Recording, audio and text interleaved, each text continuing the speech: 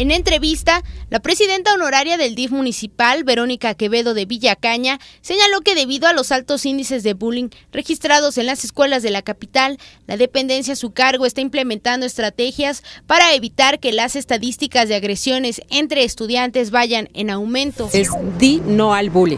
Esto es va a ser por dos meses, que va, vamos a, ir más o menos tres escuelas por día y esto es este, pues muy importante porque con todo esto que hemos visto de las agresiones en los niños, eh, eh, por eso es que estamos con esta campaña del Dino al Bullying.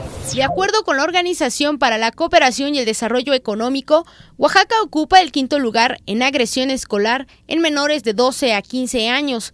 Ante las alarmantes cifras, Quevedo de Villacaña comentó que es necesario prevenir el bullying en la comunidad estudiantil. Algunos este, padres de familia o familiares comentan, ¿no? Cómo, cómo está la situación en las escuelas, este, cómo este, los, los niños son agredidos. Esto vemos que es falta de valores, falta de comunicación de padres con hijos, maestros, que de verdad tenemos que estar más atentos a esta situación, platicar con los niños, creerles y también ver qué está pasando en las escuelas.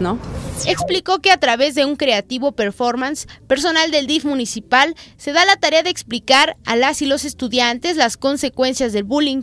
Finalmente dijo que los alumnos deben de reportar e identificar el acoso sexual, la violencia verbal y psicológica como parte de este problema social. Un teléfono del TIF municipal donde pueden este, llamar al 51 440 16, donde pueden pedirlo o también si tienen quejas de bullying, ahí atenderlos. Este, tenemos psicólogas, tenemos abogadas y tenemos este, pues darles asesoría. Si gustan que vayan a sus escuelas, el performance, dino al bullying o a que se llama a que no te ríes del bullying, que llamen al teléfono que mencioné o que vayan al DIF municipal y nosotros se los podemos hacer llegar a su escuela para que vayan. Con imágenes de Antonio Reyes, reportó para MBM Televisión, Vicky Ramírez.